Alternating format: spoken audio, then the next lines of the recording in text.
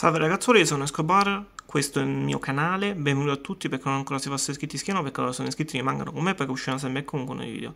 Allora ragazzuoli, cosa sono costoro? Cosa sono? Sono i Lella azteca, piccolissimi crostacei che hanno un senso di esistere in acquario. Li ho scoperti da qualche anno, li sto riproducendo senza alcun tipo di problema. Adesso stanno mangiando una pallina di un gamberetto uno di quei mangimi che comunque somministro giornal- giornalmente. Da pochi esemplari ne diventano comunque veramente tantissimi. Eh, sono detrivori, quindi comunque il fondo ve lo tengono sia smosso che bello pulito.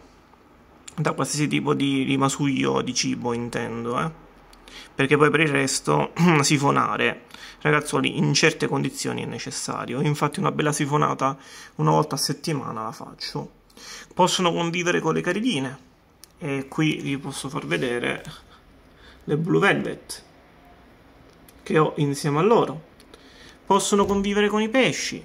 Sono un ottimo cibo vivo perché si riproducono massivamente e anche se vengono predati continuano a riprodursi fregandosene altamente di coloro che sono presenti in vasca.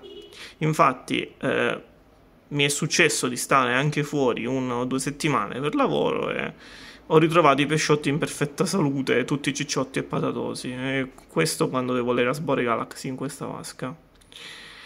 Sono veramente molto carine, interessanti da vedere. Si adattano in qualsiasi tipo di acquario. Ovviamente, ragazzi, se ci mettete discus o eh, scalari, se li fanno in due secondi, quindi eh, con i poicillidi tipo guppi, plati, queste cose qua sopravvivono senza problemi. Io comunque vi consiglierei più di altro, cioè più che altro comunque di eh, riprodurli prima e poi inserire i pesci, cioè nel senso metterli all'avvio della vasca, aspettare che si riproducono e poi inserire i pesci e avere comunque un ecosistema equilibrato dove fungono da cibo vivo e da eh, comunque organismi che vanno a tenere il fondo smosso e pulito, come ho detto anche prima. Sono veramente veramente belli. Non ricordo la loro... Um,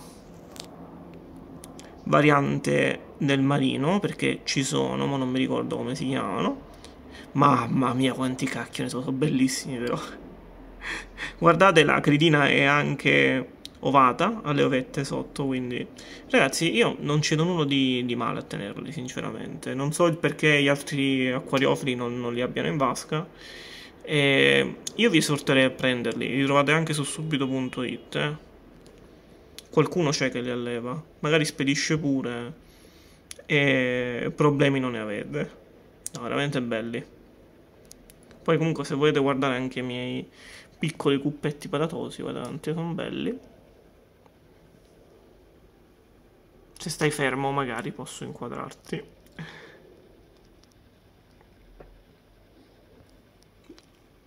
Devo dire, ottimo acquisto, devo, devo dirlo, eh, devo dirlo proprio.